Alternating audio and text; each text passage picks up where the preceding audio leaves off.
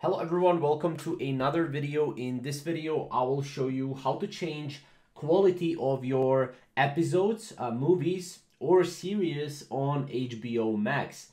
Now, as you know, you cannot actually go and change the video quality, but there are a couple of ways to do it. As you can see, HBO Max automatically adjusts the video quality based on your network bandwidth and connection speed. Most shows and movies are available in high definition. Manual video quality settings are not currently available. So there are a couple of ways that you can go about it.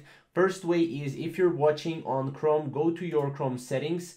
From here, go to settings and then go and type in cache and make sure you clear all the cache right here. Clear browsing data. Make sure you clear the, the cached images and files, cookies, download history and browsing history as well. Make sure to do this all time here and then just clear data. This will clear up all the data and you might have some uh, you know fixes in terms of uh, you know the video quality. So that is first thing that you can do.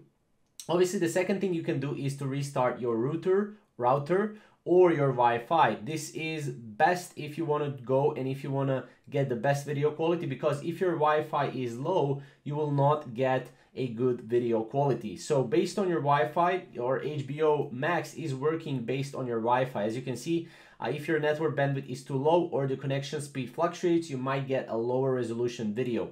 If this happens, see video buffers or pauses. So this is pretty much the only way currently how to change quality on HBO Max. So if you have any questions or maybe comments, comment down below and we'll see you in the next video.